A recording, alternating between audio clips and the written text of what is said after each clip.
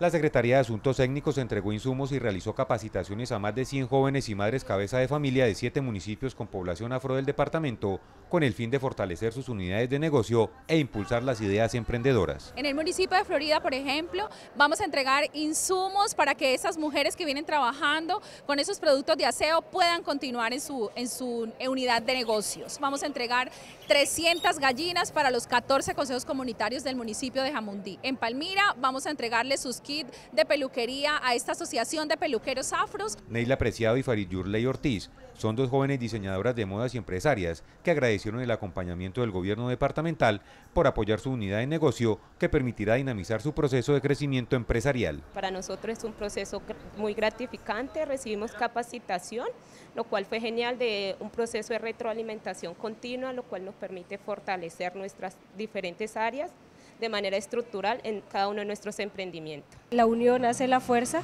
entonces la idea es continuar con el proceso que venimos y de antemano pues agradecerle a la gobernadora pues por todos los procesos y pues que sigan apoyando. Las entregas de los insumos se realizaron dando cumplimiento a los compromisos adquiridos por la gobernadora del Valle, Dina Francisca Toro, en los conversatorios ciudadanos.